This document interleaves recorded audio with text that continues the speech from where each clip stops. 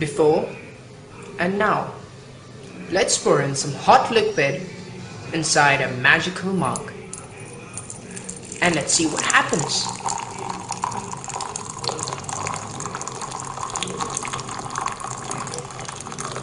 There it goes. You can get your own personalized pictures or frames on your mug. We have a cute baby over there.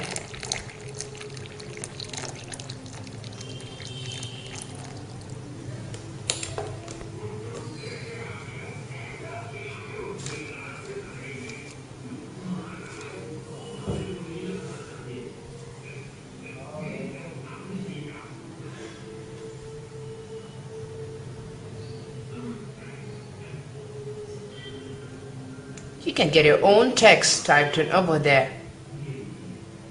Have your own personalized mug today.